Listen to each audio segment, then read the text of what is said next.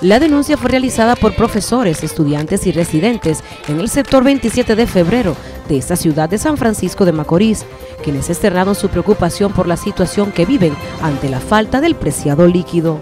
Si ustedes se dan cuenta, nosotros tenemos un tiempo largo luchando por la situación del agua, desde que estaba el ingeniero Moronta y ahora con el ingeniero César.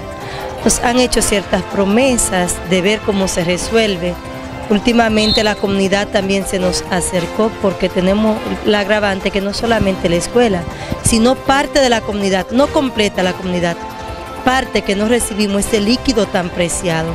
Por lo que nosotros tenemos que lamentablemente los fondos que nos llegan, parte de los fondos dedicarlos al agua para poder laborar, porque si no, sería imposible. Ya a las 10 de la mañana, cuando no nos llegue ese camión de agua que compramos, ya la escuela está que no se aguanta con los baños. Tenemos una población de 600 personas, imposible trabajar sin el agua.